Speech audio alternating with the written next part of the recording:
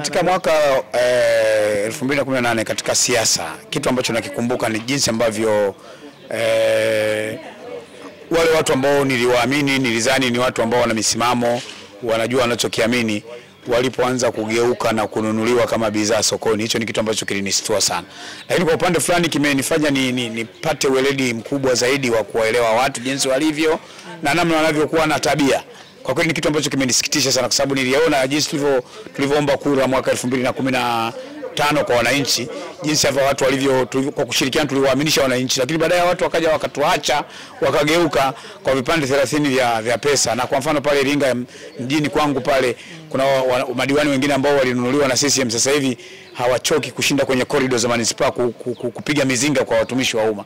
Kimenishangaza sana kwamba watu wamekuwa watu ajabu, lakini ime, ime, e, upande mwingine imetufundisha kwamba eh, kujua maana halisi ya neno misimamo na kujua kile unachokiamini.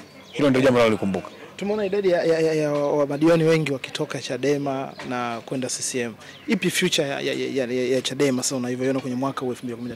Future ya Chadema mwaka 2019 ni bright sana, kwa sababu kwanza wananchi wamewaona wame- Chadema ambao wana misimamo, nikiwemo na mimi, kwamba ni watu wenye misimamo.